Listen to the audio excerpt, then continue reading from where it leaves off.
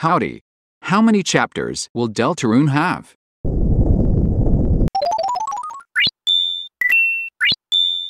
This sounds like such a straightforward question, and yet it seems like all who quest for the answer inevitably get lost in an ever-winding mind maze of Toby's design.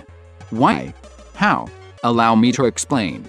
The trouble starts with the Deltarune website. When the game was first announced, there was only one chapter and no chapter select, which made this website our only source of information on the matter. In the very first status update, outlining the game's development so far, it describes the progress towards completing chapters 2 and 3 plus, while cryptically warning us that these numbers can be somewhat deceptive. What smells like foreshadowing? Oh hey, look, it's chapter 2, which finally introduces a chapter select. And, is, is that 7 chapters? Holy Cungadero, the plus in 3 plus is carrying 4 whole chapters on its back, what a champ! So, case closed, right? There will be 7 chapters and we can go home now, right? But then, why do the chapter icons go up to 9? I mean, 10. But I guess that it's not hard to just copy-paste the same blank sprite a few extra times. It's not like he has fully rendered and animated sprites of uh, I'm sorry, is that a sprite for chapter 10? You bet your bacon I'm delaying the video to check on this. Okay, so you know how anytime you load up a chapter you've already beaten, it plays the Legend of Deltarune cutscene? Well after the cutscene is over, it displays the Deltarune logo, before whispering in a spooky voice. The game files call this the process logo, written in all caps, because, of course it is, but that's not why we are here. We're here because starting in Chapter 2, the process logo also displays the chapter number, and unlike the other parts of the chapter select code, this one isn't just printing off text. Someone actually had to make individual sprites for each of the chapters, and then alter the code to choose a sprite based on the chapter you're playing. What's weird is, Chapter 1's isn't actually used, because Chapter 1 still uses the old script from before the update. And, is, is that, okay I'm gonna need us to hold that thought for later in the video, because I have one more bone to pick with this. It makes sense for Toby to have logos for chapters 3, 4, 5, 6, and 7. And I could even be persuaded to overlook chapters 8 and 9. But why is there a logo for chapter 10? That's the sort of thing you'd only do if you needed to make sure the animation works properly on two-digit logos. And if that's the case, that just opens a whole other can of worms. For one, why does Toby keep describing his development towards chapters 3, 4, and 5, but not 6 and 7? Like, I know his plan is to work on 3, 4, and 5 simultaneously, but he doesn't even mention chapters 6 or 7 when he discusses pricing. Like, will buying 5 also buy us chapters 6 and 7? I'm sorry if he secretly answered this somewhere, but I can't find it anywhere on the Deltarune website, the newsletters, or the Steam page. They all just act as if Chapter 5 will be the final chapter, and. Wait. Huh? Anyway, as far as I can tell, the Chapter Select menu is the only place where Chapters 6 and 7 are even referenced. And, with the way this menu is framed, I wouldn't even be shocked if some future update gave us the ability to scroll down, which is very bewildering, given the many narrative hints implying the game will reach a conclusion somewhere around the seventh day in game. But what's extra bewildering is the code for the chapter select. If you've seen Molly's video on the series' meta-narrative, you may already know some of the game scripts are named in all caps, which has some very, very interesting implications. But what's even stranger is that when listing the chapters, there are 8 entries, including Chapter 0, which immediately causes my brain to succumb to the brain rot as I flash back to the goner vessels and the voice crying out in the unused code. And, can you really blame me? Video games nowadays have gotten so elaborate and meta about the chapter select menu, and Toby in particular already has all of this creepy lore established around the concept of unused or forgotten files and maps and even characters that it's almost impossible to look at this and not have flashbacks to games like Off, Doki Doki Literature Club, and Hatoful Boyfriend that weave the concepts of New Game Plus and plot-relevant menu options into the world and story And this gets even more difficult to ignore when Toby and Itoki Hana release a music video about this very idea on the anniversary of Deltarune, while peppering it with imagery that heavily emphasizes the connections between these lost and corrupted characters and worlds. But I know talking about this makes me sound even more unhinged than the Ice-E conspiracy, so instead, let's try to look at this more objectively, shall we?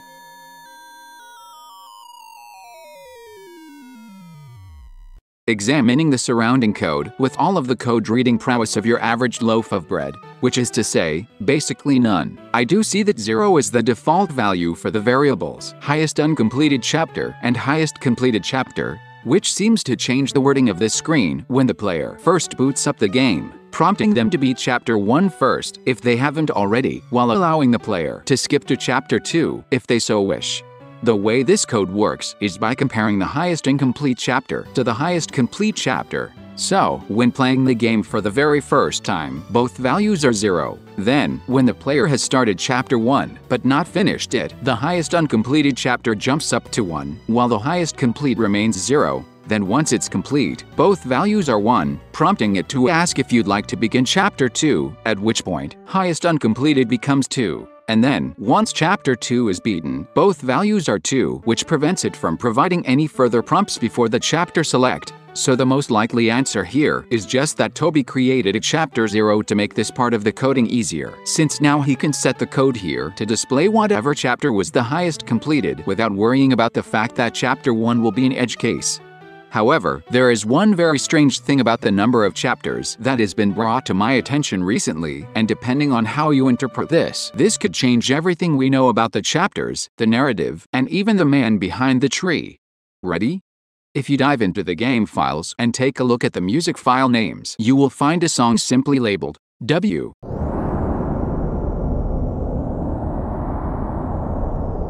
which plays exactly once in Chapter 1 when the mysterious voice from the opening tells us what our name is.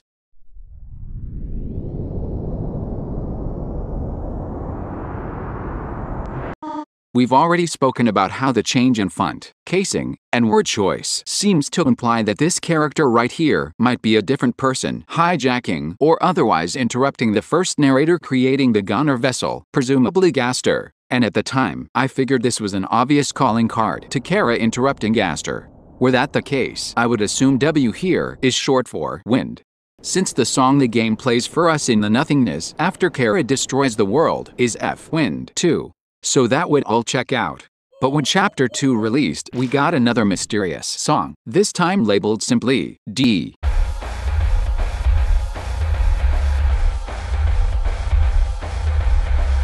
This has had me stumped for months because YD. Normally, when there's a song like this in the soundtrack, Toby gives it a name like Tense.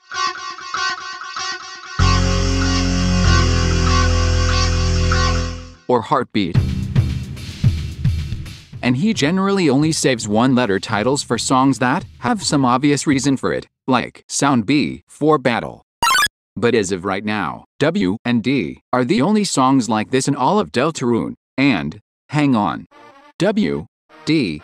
If this pattern continues, this will mean that each chapter will give us one update to the unused code that seems to be trying to engage us in some kind of dialogue with some poor goner trapped in the dark. And one new song that starts with a single letter.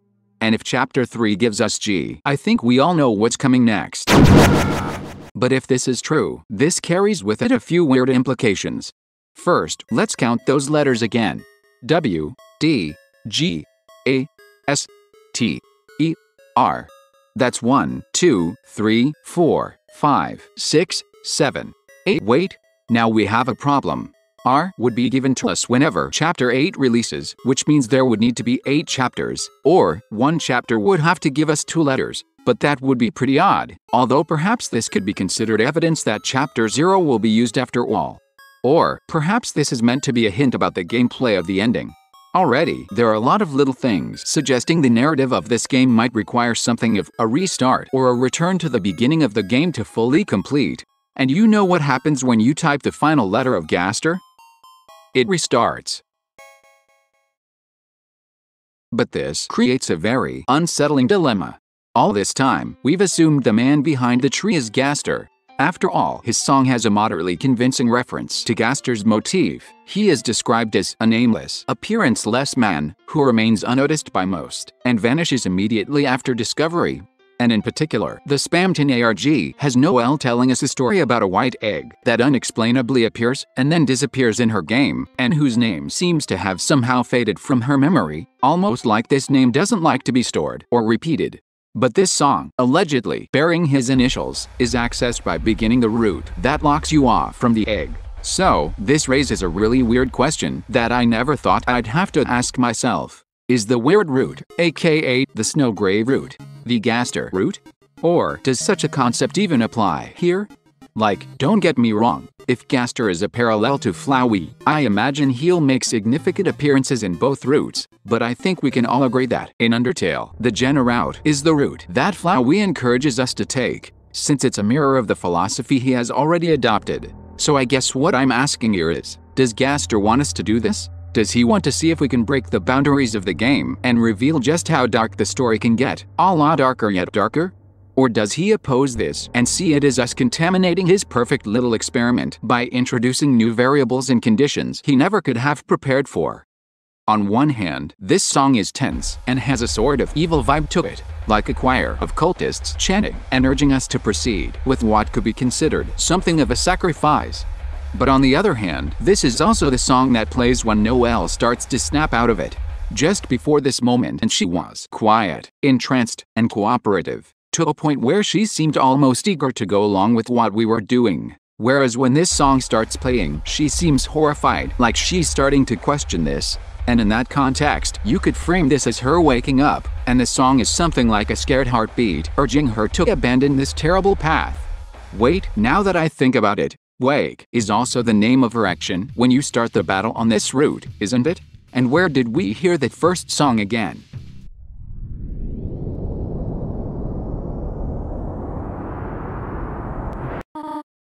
when Kris wakes up at the start of chapter 1. Dang, now I gotta do a deep dive on that, don't I? But, what do you all think? Could this be evidence for the reset theory? Is this the theme of waking, or another motif for Gaster? And what even is Gaster, anyway? Let me know what you think down in the comments. And until next time. Don't forget to like and subscribe for more Hyperlink Blocked.